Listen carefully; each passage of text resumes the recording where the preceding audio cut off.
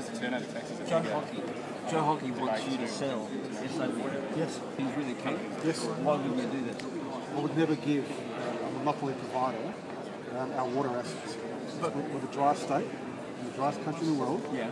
and water is an integral part to our economy. If we go through a drought, I'm not going to let a private, profit-based just ask uh, company owning our water assets. But, but Never. when, when you walked in to speak to Joe he'd already done the work, had he?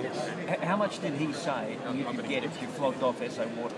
Oh, depending on the market, somewhere between 12 to 14 billion. 12 to 14. So you walked in and Joe Hockey said, you, know, you need to see this, Tom. You could get 12 to 14 billion dollars for SA Water. Yeah, and then we'd be handing our future to a private company. No, I'm not prepared to do that.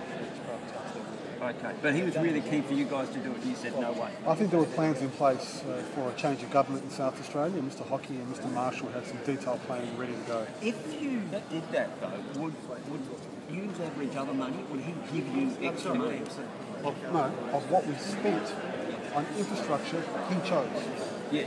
So he wants us to spend, sell our assets, Yeah. give away our economic security. Well, you get the money. uh, probably not. Then he decides how we spend it.